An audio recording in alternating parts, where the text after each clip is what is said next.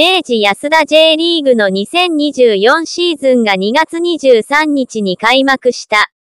J1 リーグでアカデミー出身選手の総市場価値が最も高いのはどのクラブなのだろうか。今回はデータサイト、トランスファーマークトが算出した最新版の J1 クラブ現役アカデミー出身選手の総市場価値をランキング形式で紹介する。市場価値は2月27日時点。黒丸9位、北海道コンサドーレ札幌。監督、ミハイロ・ペトロビッチ。2023リーグ戦成績、12位、10勝10分14敗。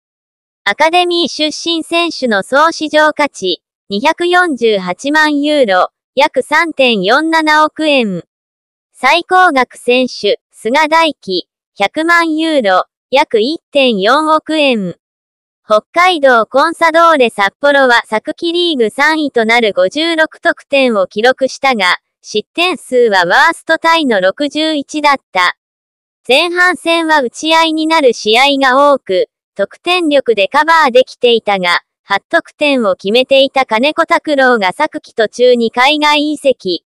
その穴は大きく、失点の多さも目立ち、12位でシーズンを終えた。アカデミー出身選手の総市場価値は248万ユーロ、約3.47億円。で、今回のランキングでは9位に入った。25歳の菅大輝が100万ユーロ、約1.4億円。でチームトップ。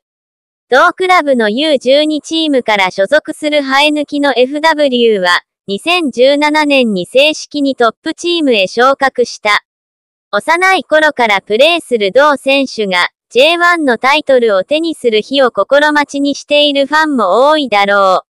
アカデミー出身者の市場価値でチーム2番目となったのは、30歳の荒野拓馬、50万ユーロ、約7000万円だ。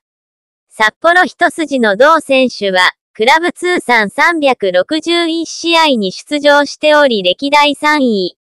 3番目は28歳の深井和樹で35万ユーロ、約4900万円、となっている。J1 ではまだタイトルを手にしていない札幌だが、幼少の頃から在籍する生え抜き選手たちと共にトロフィーを掲げる時が来るだろうか。